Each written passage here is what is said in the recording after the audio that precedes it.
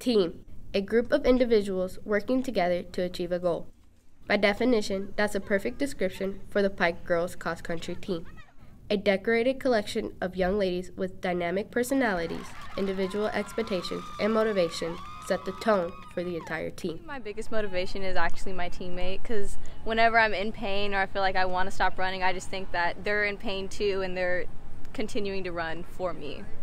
Though individual competitors, race day takes on a familiar strategy. I mostly just focus on relaxing and realizing like I've raced like so many times before and like just another race and like how like my actions like during the race is gonna like affect my teammates. Ranked as the fourth best team in the state, these ladies have a selfless bond that allow them to run for each other.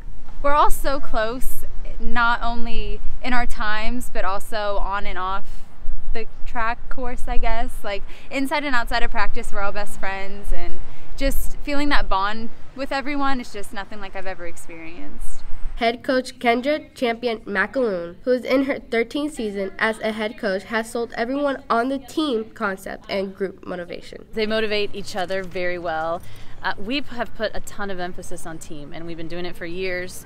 Um, we knew this was going to be a great year for us, so we've just we talk about running for each other, um, not for yourselves, but for each other. It's a team sport, and that they're all such great friends that that really motivates them well because they know they're doing it for their friends. Elizabeth Stanhope, who joined the team this year, has bought into the program. Yeah, I just like having a team to run with because before I just ran individually, so it's nice to have a team. These team leaders, along with the coaches, have the Lady Red Devils prepared. We'd like to have seven girls under 20 minutes in the same race. Um, we'd like to make it to the state finals. We haven't Pike hasn't been to the state since 1987, so that's a huge goal of ours. Um, we'd like to win some big meets. We have big goals for county and Mick. We feel like we can compete with the top teams there um, just advance. I also always emphasize their grade point average, so we would like to have the highest team GPA of all the teams at Pike. We always want to be in that number one spot. Everyone always wants to be there. So no matter how fast you run, you can never be satisfied with what you do. You can be happy with it, but always know that you have to put in more work because there's always someone that's trying to take your place.